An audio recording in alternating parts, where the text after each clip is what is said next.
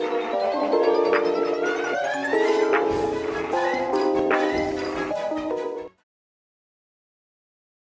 with no music. Alright, since y'all wanna act like that, we're gonna do this again with no music. This is what happens when a blind man has DMT. So just TAi, just TAi, just TAi. Just think about these things. Combine your mind with your heart. Connect those two circles. See what your gut is saying and let whatever come out. Just come on out, guys. Hit that like button, man. Hit that like since y'all like this kind of stuff. It's back out. Here we go. Further ado, a post I found on Shroomery of someone blind from birth, breaking through on DMT. Definitely worth the reading. I can't believe this isn't talked about more often. This is posted on Shroomery. Uh, shout outs to the guy that uploaded it. I don't see his name. oh, Mushroom 50. So here we go. My buddy Cody was driven up here for Christmas by his brother yesterday. He is congenially blind from birth. He was born with a type of disease I cannot pronounce or spell. He is a frequent cannabis smoker. When I got up this morning, he had a small breakfast of fruit and then I removed it from the fridge and explained to him what it was and the process and that I had a theory.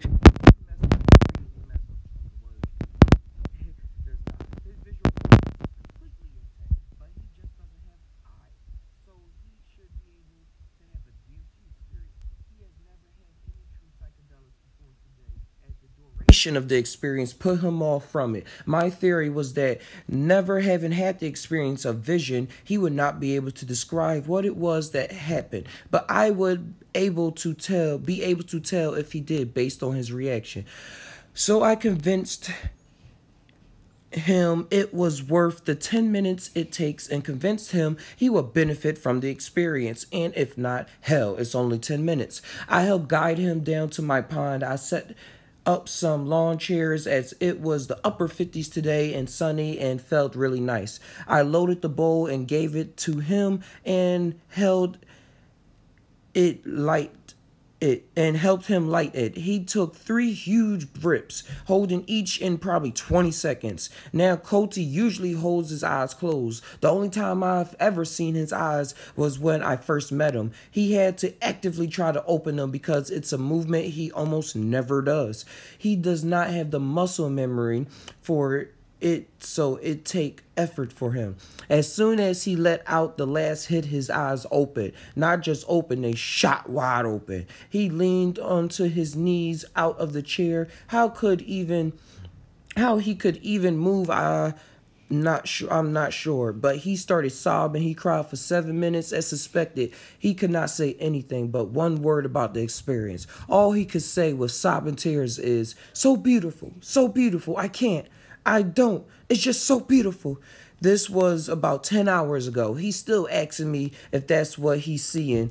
If he's still asking me if that is what seeing is. How do I respond to that? He can't describe what he saw, but he saw, and he's been blind from birth. I don't know where I go from here, but we both feel as if we uncover something more profound than the experience itself. I just thought I will leave this here as I have no idea the implications of this, and I have no hope of ever getting an explanation of exactly what he experienced from him, as he has no means of comparison or contrast. Also, I wanted to start a discussion about this. Sees seems very interesting. Thank you, Mushroom 50, for this awesome story, finding this and reposting this. Because wow, man, our blind our eyes is made to see this world, but we always seeing something. There's multiple infinite amount of realities going around, man. You got eyes not to see here, but you can see somewhere else. oh, it's wild that DMT does that dimethyltryptamine. It's insane to think that his only experience seeing anything was some of the same shit you see on DMT. Now, that's his baseline for what people. Now, that's his baseline for people um, that can see. Yeah, that's wild. Going through the comments.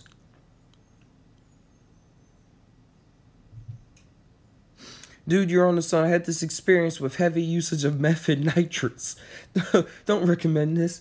Where it's like my brain is some perhaps AI or some inner reality simulation thing. We're learning about reality and how it works. So I keep doing it and things get realer, more stranger enter different dimensions, change senses around, and then I tried DMT. The thing, same thing sort of happened. Dimensions would get all weird yet familiar, like being a developer of reality and remembering it. Things would get more crystal clear in HD. Storylines would begin taking place, etc. All the while, reality is more malleable and somewhat like I'm aware of the fact that it's some kind of simulation. I can increase my level of focus. I can change my senses around, make my eyes a nose or my nose eyes, etc. Increase senses, do things with breathing patterns, kundalini, time travel, alternate realities, etc. Basically, like I've become a part of my perception of reality and sort of working with it to make reality more real yet magical at the same time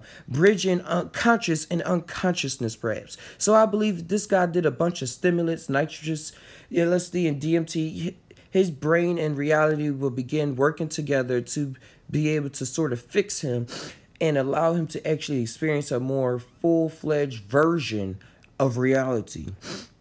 Yeah i've been in that room too on mushrooms I call it I call it um, Looney Tune Land, Thailand.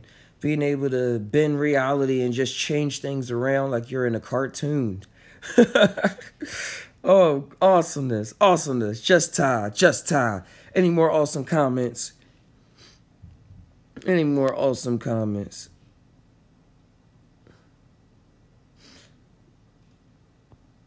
I have something very reality control. I'm leaning heavy to the option that reality could be a simulation, especially after studying quantum mechanics for the past year as a hobby. Shit is adding up like pieces of a puzzle, and it's wild.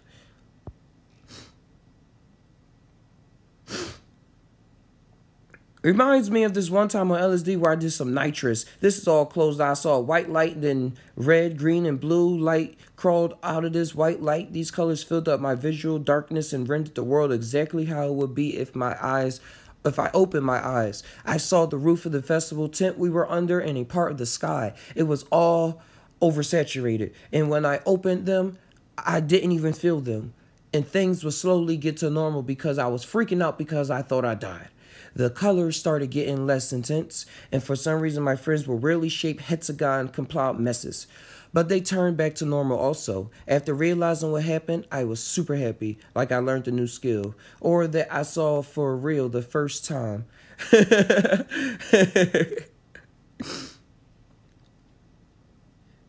All right, if you're gonna go fishing for one more, guys, I want to know if what he saw is what seeing actually is for those of us born sighted. If we weren't now jaded by experience, our brain continuously adding out the less manageable visual messages. When you go that deep, you don't see with your eyes. It's like seeing with your mind. Third eye shit. Brains don't matter if you if your wood gets split on some third eye shit.